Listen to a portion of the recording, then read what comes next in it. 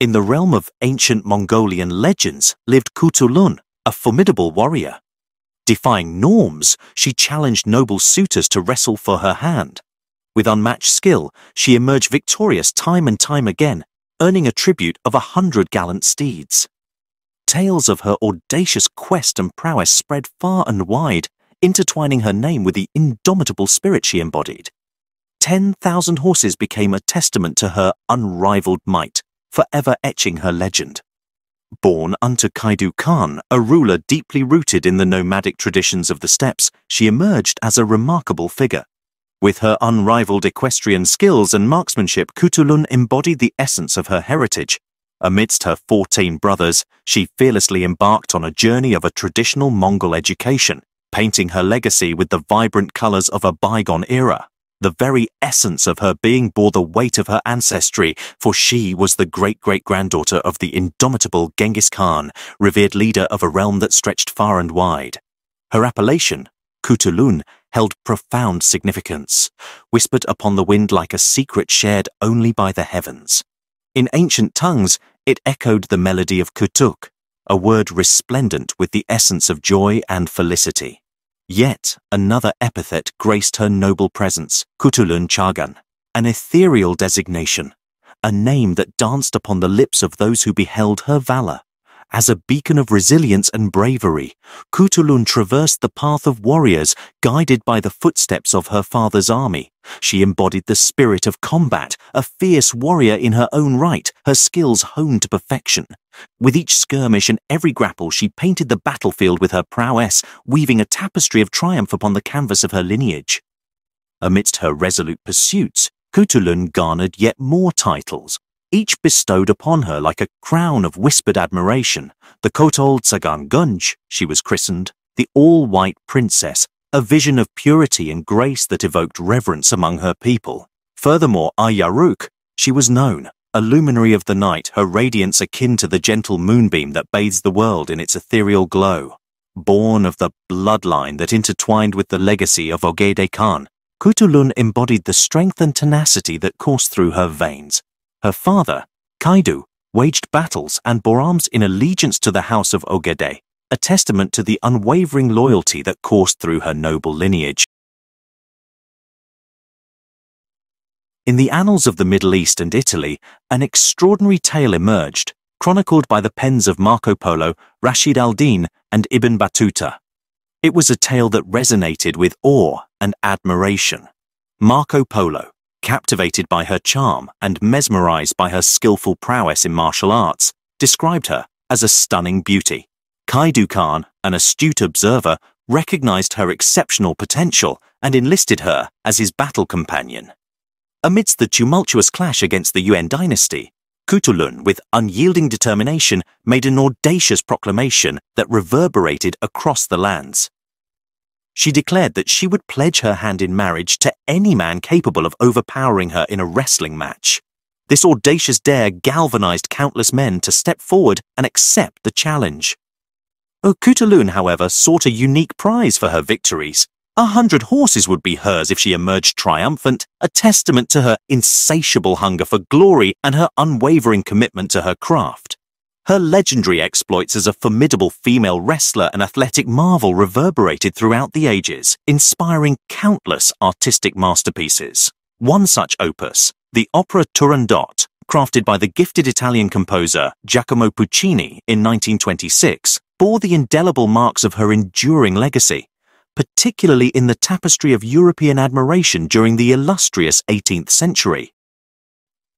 Marco Polo's accounts paint her as a towering figure, swift and agile. She possessed a hawk-like ability to approach her foes, swiftly capturing or vanquishing them. Her strength surpassed all men in her father's kingdom and neighboring lands, as attested by Polo.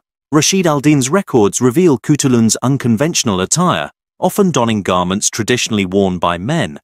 Her courage manifested in her active participation in numerous wars, earning her father's trust and important responsibilities.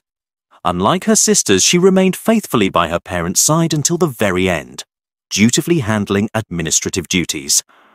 However, envy and malice reared their ugly heads as Kutulun became the target of baseless rumors propagated by jealous individuals, including Mongols, Tatars, and Turkic tribal leaders.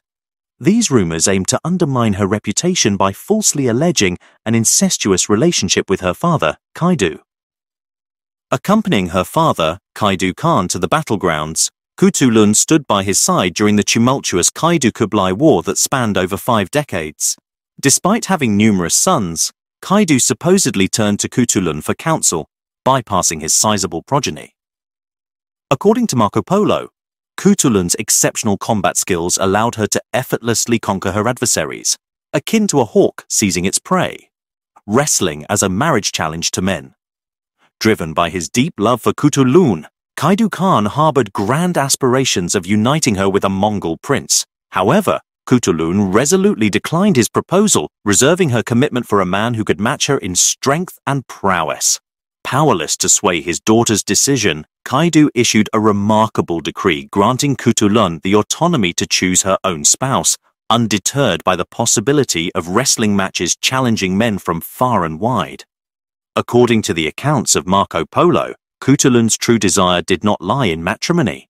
Instead, she offered a unique condition for potential suitors, challenging them to wrestling bouts as a prerequisite for marriage. Yet, none proved capable of besting her. Kutulun extended her challenge to the sons of noble Mongol and Turkic families, decreeing that they must engage in wrestling matches if they sought her hand. The stakes were high, with the defeated suitors obliged to relinquish 100 horses as a penalty. Astonishingly, it is said that Kutulun amassed a staggering 10,000 horses through this arrangement. In 1280, a wealthy nobleman who had gained favor with Kaidu Khan presented 1,000 horses in an attempt to win Kutulun's affection. Kaidu advised his daughter to feign defeat. However, Kutulun, unyielding in her strength, lifted the nobleman and cast him to the ground.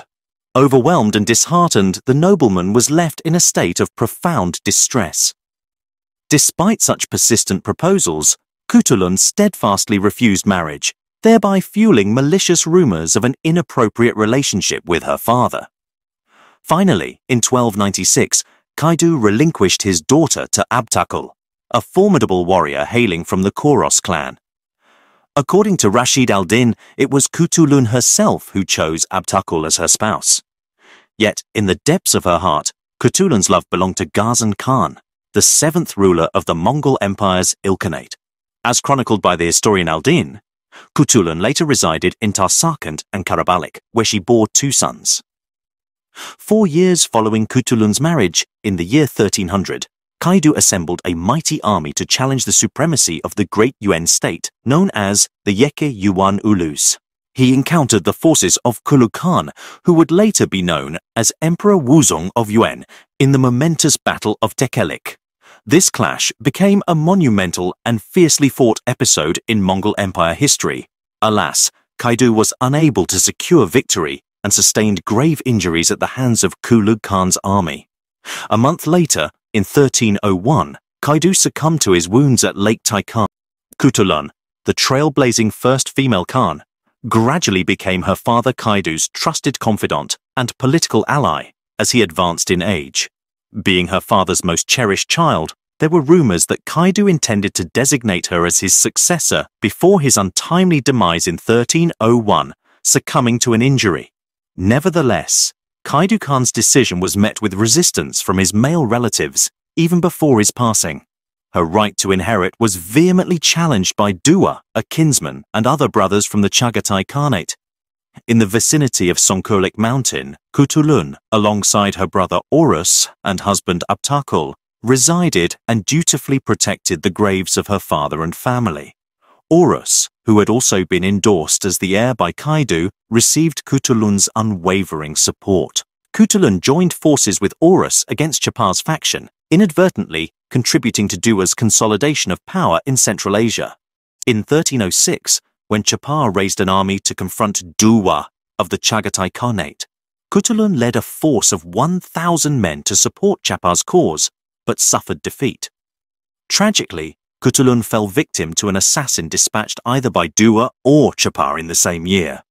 Her defiance of both contenders in favor of Orus ultimately cost her life.